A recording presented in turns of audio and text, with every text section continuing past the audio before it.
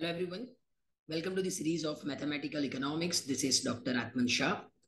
In this video, I'm going to discuss the idea of function.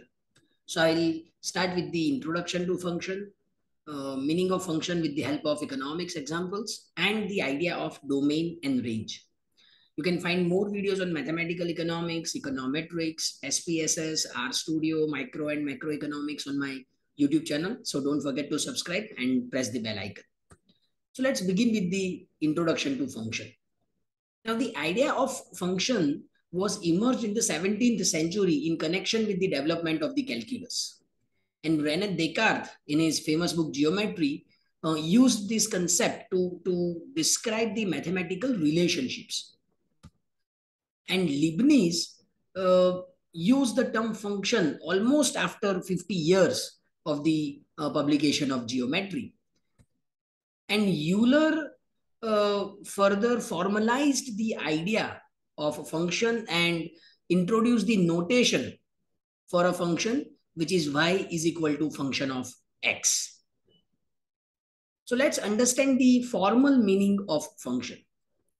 So function is an expression, rule or law that defines a relationship between two or more variables. So here you can see we have two variables y and x. So we are establishing or, or you know, uh, we are examining the relationship between y and x. Or you can have a relationship between y and x and z. So it is the relationship between two or more than two variables.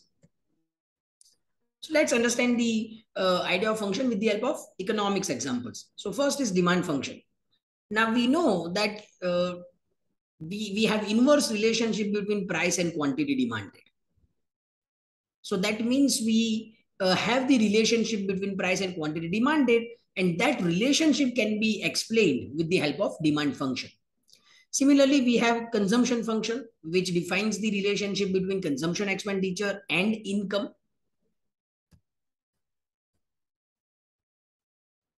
So from theory, we know that quantity demanded is a function of price. So quantity demanded depends on price. And therefore, quantity demanded is our dependent variable because it depends on price and price is our independent variable. So when we define the function, we need to understand the idea of dependent and independent variable.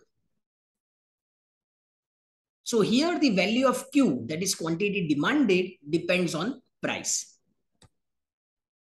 So we can find values of quantity demanded with known values of price. We can also have the demand function as quantity demanded is equal to function of price and income.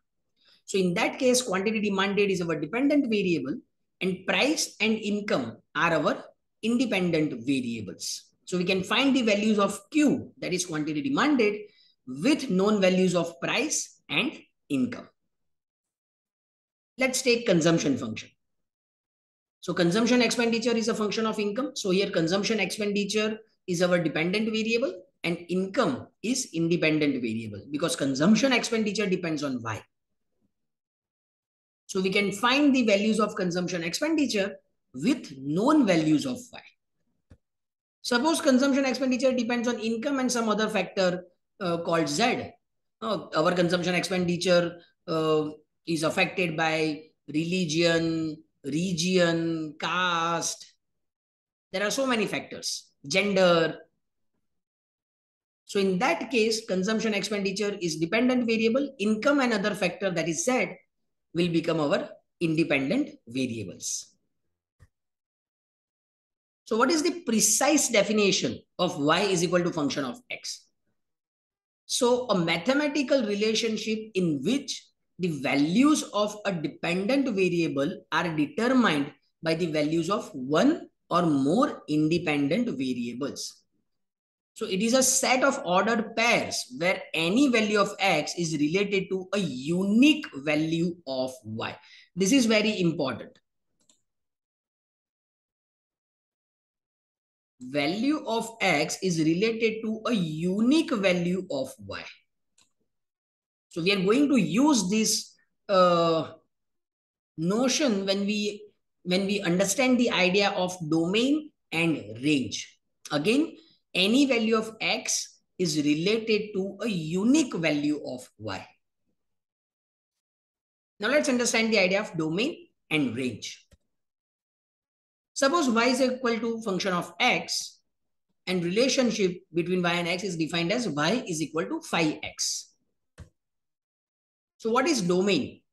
Domain is all the values that go into a function. And range is all the values that come out of a function. And it is also known as image. See this chart. First we have input that is domain. Then we have the function that is relationship and then output. Now suppose our relationship is defined as y is equal to phi x. So for every value of x, there exists unique value of y. See this chart. So x is our domain. When x is equal to 1, y is equal to 5. You substitute the value of x here. So when x is equal to 1, y is equal to 5, x is equal to 2, y is equal to 10. So 1, 2, 3, 4 is our domain. 5, 10, 15, 10 is our range. Let's take this example y is equal to x square. So again, for every value of x, there exists unique value of y. See this. When x is 1 here, the value of y is also 1. When x is minus 1, again y is 1. You need to substitute the values here. Similarly, when x is 2 and minus 2, y is 4. So x plus or minus 1, y is equal to 1. x plus or minus 2, y is equal to 4. So here one value of dependent variable that is x is associated with two values of independent variable. Right? One value of dependent variable that is y is associated with two values of independent variables that is x. And therefore, this function or this relationship qualifies as a function. Take another example. y square is equal to 16x square. This is the relationship. So here we don't, so, so every value of x does not exist, that there does not exist any unique value of y. See this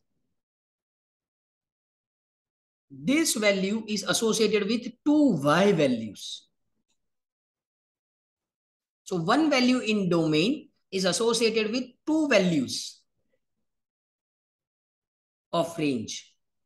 Similarly, again, one value of x is associated with two values of range.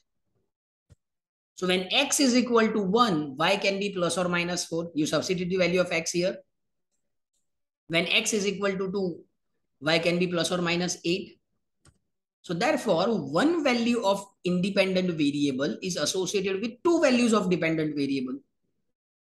So this relation does not qualify as a function. This is not a function. So for every value of x, there must be unique value of y.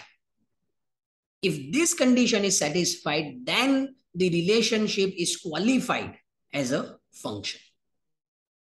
So in this video, I have discussed the idea of function, the formal definition of the function, and concepts of domain and range. If you find this video useful, kindly comment, like, share, and subscribe.